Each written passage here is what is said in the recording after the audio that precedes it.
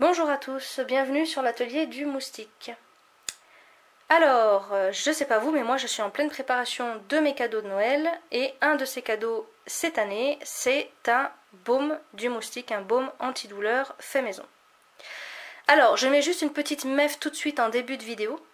Euh, concernant les plantes et les huiles essentielles, les plantes et les huiles essentielles, c'est pas des bonbons, c'est pas des jouets, c'est quand même des produits euh, très concentrés et très efficaces.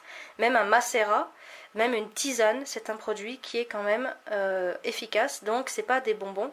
Donc quand vous utilisez un baume avec des huiles essentielles avec des plantes, renseignez-vous toujours à savoir si vous prenez pas un traitement, pilule contraceptive par exemple, qui peut être en interaction avec le baume que vous allez utiliser. Pourquoi je vous dis ça? Parce que euh, le macérat de millepertuis, le millepertuis en général euh, a des interactions avec la pilule contraceptive et avec d'autres traitements comme par exemple le traitement euh, anti-rejet de greffe. Voilà. je vous dis ça parce que les huiles essentielles sont encore évidemment beaucoup plus concentrées que les plantes. Quelquefois, il faut des centaines de kilos de plantes pour faire un tout petit millilitre d'huile essentielle. Euh, je vous laisse admirer quand même la, euh, la, concentration d'effets actifs qu'il peut y avoir dans ces produits. Donc, le baume que je vais vous montrer aujourd'hui n'est évidemment pas à utiliser sur des enfants. Et euh, les femmes enceintes et allaitantes ne doivent pas l'utiliser non plus. Si vous avez un traitement, il faut que vous demandiez à votre médecin. C'est pareil avec tous les petits baumes aux huiles essentielles, les sprays avec les huiles essentielles qu'on trouve au magasin. Si vous avez un traitement, renseignez-vous quand même avant savoir s'il n'y a pas d'interaction possible avec ce genre de produit. Euh, c'est à cause de mauvaise utilisation des plantes et euh, en fait d'ignorance parce que les gens ne savent pas, les gens pensent ah bah ça va c'est des plantes donc euh, c'est pas grave, c'est pas puissant, c'est des bonbons, c'est bon, on peut les utiliser et en fait non. L'utilisation d'huile essentielle ou de plantes peuvent causer des problèmes si vous avez un traitement ou vous êtes malade ou, ce genre de truc. Voilà. Bon maintenant on passe au sujet en lui-même, donc la fabrication du baume. Alors pour ce faire, on a besoin finalement que de peu d'ingrédients. On a besoin d'un macérat. Donc moi j'ai choisi le macérat de millepertuis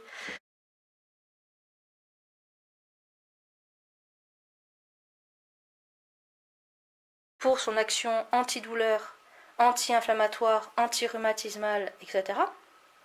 En plus dans une huile d'olive bio, l'huile d'olive, c'est une très bonne huile pour les massages parce que c'est un baume qu'on va utiliser en massage, en massage assez long, justement pour décontracturer les muscles, faire partir les courbatures, enlever les douleurs liées au rhumatisme, enlever les douleurs liées, à, liées à une inflammation, par exemple, je ne sais pas, euh, si vous avez des problèmes de genoux, bah, vous pouvez vous masser le genou avec ce produit, donc en massage long. Donc il faut une huile qui pénètre la peau, mais pas trop rapidement. Euh, l'huile de jojoba, par exemple, a tendance à pénétrer la peau trop vite. Et c'est quand même dommage parce qu'on ne peut pas masser. Alors que l'huile d'olive permet un léger massage pour faire pénétrer le produit. Il vous faut un durcissant. Donc moi j'ai pris de la cire d'abeille, bio évidemment. Euh, si vous n'utilisez pas la cire d'abeille, il y a des alternatives aujourd'hui qui sont pas mal, comme la cire de candélila. C'est une cire qui est tirée d'une agave.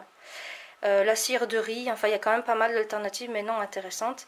Moi j'utilise de la cire d'abeille parce qu'elle a quand même des propriétés euh, très intéressantes euh, au niveau thérapeutique. Concernant les huiles essentielles, j'en ai choisi que trois. Je cherchais vraiment un baume basique mais pratique, utile et efficace. Donc pour ce faire, j'ai choisi de la Golterie couchée, du genévrier et de l'eucalyptus citronné.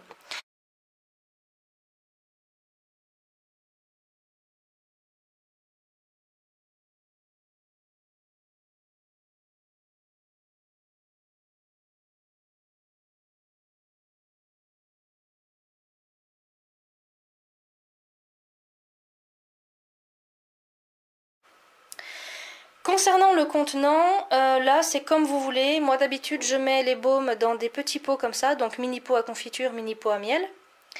Là le problème étant que la famille habite quand même loin et qu'on ne peut pas se rendre sur place cette année, il va falloir envoyer les colis par la poste. Alors, les petits pots à confiture c'est super sympa, seulement c'est lourd. Et euh, j'avais pas très très envie euh, d'envoyer ça par la poste. Alors on a trouvé des petits contenants qui sont comme ça qui sont en aluminium, très légers, incassables, parce que malheureusement, euh, comme la poste s'occupe très bien de nos colis, quelquefois il y a de la casse. Donc là, c'est incassable.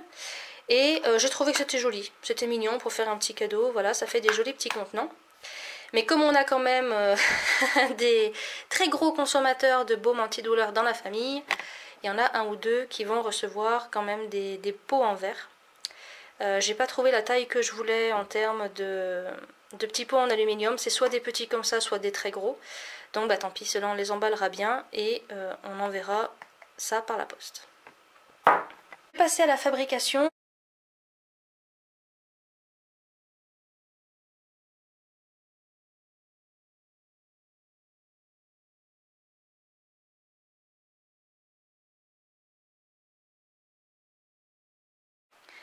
Voilà, donc là, ma cire et mon huile ont été mélangées, donc elles ont été fondues au bain-marie, évidemment. Euh, j'ai fait mon mélange d'huile essentielle pendant que c'était en train de fondre, donc 5 grammes de chaque. Hop, je le verse dans le mélange. On mélange un petit peu. Voilà, et là maintenant on va verser en pot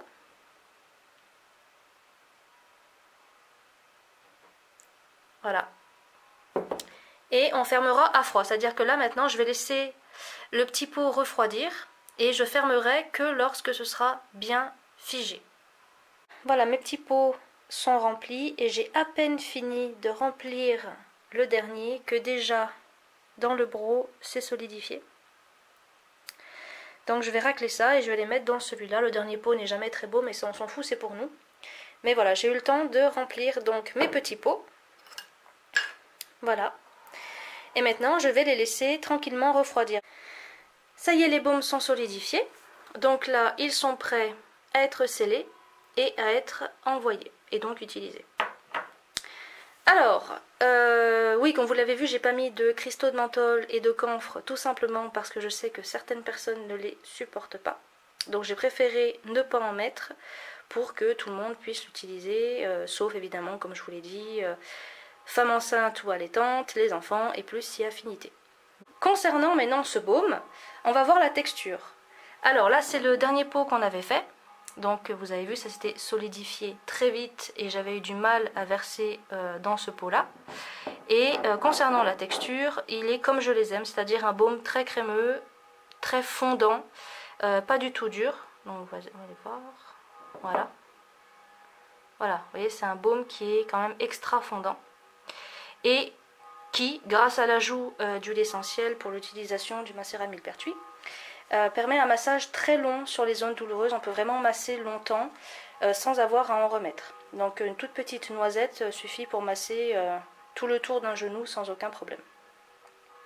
Alors concernant la recette maintenant, alors vous l'avez vu, il n'y a pas beaucoup d'ingrédients. Et pour faire cette quantité de baume là qu'il y a sur l'image, j'ai utilisé 400 ml de macérat de millepertuis fait avec de l'huile d'olive, à peu près, oui, à peu près 35 g de cire d'abeille. Et euh, j'ai utilisé 5 g de chaque huile essentielle que vous avez vue. Donc d'après mes calculs, espérons qu'ils soient justes, ça fait 7,5% d'huile essentielle dans le baume. Donc comme vous le voyez, c'est un baume qui est assez léger. On peut augmenter la dose puisque d'après ce que j'ai vu sur euh, certains sites d'herboristerie, on peut monter jusqu'à 30% d'huile essentielle. Moi, comme c'est un baume pour le tout venant, je voulais un truc assez léger quand même. C'est pas la peine d'en mettre trop. Comme je disais, les huiles essentielles sont vraiment très concentrées. Et 7,5%, ça me paraissait pas mal. Voilà. Donc, bah, ce cadeau, il est fait. Voilà, j'en ai encore pas mal à faire. Je vous ferai une petite vidéo d'ailleurs sur les cadeaux que j'ai prévus pour un petit peu tout le monde. Et nous, bah, en attendant, on se retrouve bientôt sur l'atelier.